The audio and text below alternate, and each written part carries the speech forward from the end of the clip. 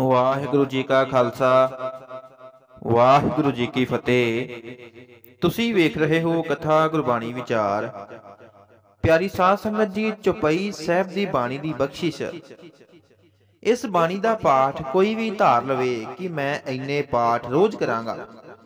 ਇੱਕ ਦਿਨ ਆਉਂਦਾ ਹੈ, ਉਹਨੂੰ ਨਾਮ ਮਿੱਠਾ ਲੱਗਣ ਲੱਗ ਜਾਂਦਾ ਹੈ। ਅਗਿਆਨੀ ਨੂੰ ਅਗਿਆਨ ਮਿਲ ਜਾਂਦਾ ਹੈ।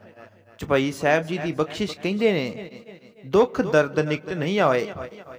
ਕਈ ਮਨੁੱਖ ਕਹਿੰਦੇ ਨੇ, ਸਾਡੇ ਘਰ ਛਿੱਟੇ ਪੈ ਗਏ ਨੇ, ਸਾਡੇ ਕੱਪੜੇ ਕੱਟੇ ਗਏ ਨੇ, ਸਾਡੇ ਘਰ ਕਈਆਂ ਨੇ ਜਾਦੂ ਟੂਣੇ ਕੀਤੇ ਨੇ, ਕਈ ਦਿੱਕਤਾਂ ਆ ਰਹੀਆਂ ਨੇ ਘਰ ਪਰਿਵਾਰ ਵਿੱਚ, ਸਾਡੇ ਬੱਚੇ ਦਾ ਵਿਆਹ ਨਹੀਂ ਹੋ ਰਿਹਾ, ਸਾਡਾ ਕਾਰੋਬਾਰ ਨਹੀਂ ਚੱਲ ਰਿਹਾ, ਸਾਡਾ ਰਿਜ਼ਕ ਬੰਨਿਆ ਹੋਇਆ ਹੈ, ਸਾਡਾ ਕੰਮ ਦਿਨੋ ਦਿਨ ਥੱਲੇ ਜਾ ਰਿਹਾ ਹੈ। ਘਰ ਵਿੱਚ ਬਰਕਤ ਨਹੀਂ ਪੈ ਰਹੀ। ਕਲਗੀਧਰ ਪਾਸ਼ਾ ਜੀ ਕਹਿੰਦੇ ਨੇ, ਜੇ ਤੇਰੇ ਕੋਲ ਚਪਈ ਸਾਹਿਬ ਦਾ ਧਨ ਹੈ, ਫਿਰ ਇਹੋ ਜਿਹੇ ਡਰ ਤੇਰੇ ਨੇੜੇ ਤੇੜੇ ਵੀ ਨਹੀਂ ਆਉਣਗੇ। ਇਹ ਜੋ ਜੰਤਰ ਮੰਤਰ ਜਿਨ੍ਹਾਂ ਰਾਹੀਂ ਜੇ ਕੁਝ ਐਸਾ ਹੁੰਦਾ ਵੀ ਹੈ, ਉਹਨਾਂ ਵਾਸਤੇ ਹੈ ਜਿਨ੍ਹਾਂ ਕੋਲ ਬਾਣੀ ਦਾ ਧਨ ਨਹੀਂ, ਕਿਉਂਕਿ ਸੂਰਜ ਪ੍ਰਕਾਸ਼ ਵਿੱਚ ਲਿਖਿਆ ਹੈ, ਜੰਤਰ ਮੰਤਰ ਪੁੰਨ ਤੰਤਰ ਮਹਾਨਾ। ਭੂਤ ਜੇ ਪ੍ਰੇਤ ਦੇਤ ਬਲਵਾਨਾ।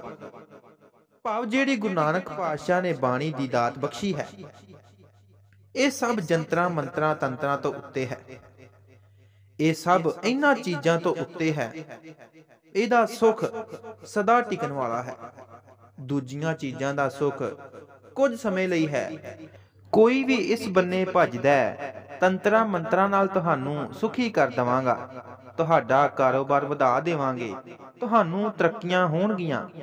ਜਿਹੜੇ ਐਵੇਂ ਦੇ ਬੰਦਿਆਂ ਕੋਲ ਜਾਂਦੇ ਨੇ, ਉਹਨਾਂ ਨੂੰ ਕੁਝ ਸਮੇਂ ਲਈ ਸੁੱਖ ਮਿਲਦੇ ਨੇ। ਸदैਵੀ ਸੁੱਖ ਨਹੀਂ ਮਿਲਦੇ। ਸदैਵੀ ਸੁੱਖ ਬਾਣੀ ਵਿੱਚ ਹੀ ਹੈ। ਤੁਹਾਡੇ ਘਰ ਕੋਈ ਦੁੱਖ ਆ ਜਾਵੇ, ਤੁਹਾਨੂੰ 50 ਬੰਦੇ ਸਲਾਹ ਦੇਣ ਆ ਜਾਣਗੇ ਕਿ ਚੱਲ ਤੂੰ ਸਿਆਣੇ ਕੋਲ, ਉਹ ਤੇਰੇ ਦੁੱਖ ਜ਼ਰੂਰ ਦੂਰ ਕਰੇਗਾ। ਪਰ ਇਹ ਜੰਤਰ ਮੰਤਰ ਨਾਲ ਕੇਵਲ ਕੁਝ ਸਮੇਂ ਲਈ ਅਸਰ ਹੁੰਦਾ ਹੈ। ਇਹ ਬਾਣੀ ਜੋ ਹੈ, ਇਹ ਸਭ ਤੋਂ ਮਹਾਨ ਹੈ। ਧੰਨ ਗੁਰੂ ਗੋਬਿੰਦ ਸਿੰਘ ਜੀ ਮਹਾਰਾਜ ਫਰਮਾਉਂਦੇ ਨੇ ਕਿ ਇਹੋ ਜਿਹਾ ਸਮਾਂ ਆ ਜਾਏਗਾ।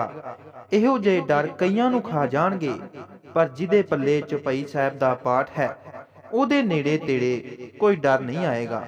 ਉਹਨੂੰ ਕਿਸੇ ਹੋਰ ਦਰ ਤੇ ਜਾਣ ਦੀ ਲੋੜ ਨਹੀਂ ਪਏਗੀ। ਉਸ ਦੀਆਂ ਸਭ ਪਰੇਸ਼ਾਨੀਆਂ ਦੂਰ ਹੋ ਜਾਣਗੀਆਂ। ਚੁਪਈ ਸਾਹਿਬ ਦੇ ਪਾਠ ਨਾਲ। ਵਾਹਿਗੁਰੂ ਜੀ ਕਾ ਖਾਲਸਾ ਵਾਹਿਗੁਰੂ ਜੀ ਕੀ ਫਤਿਹ।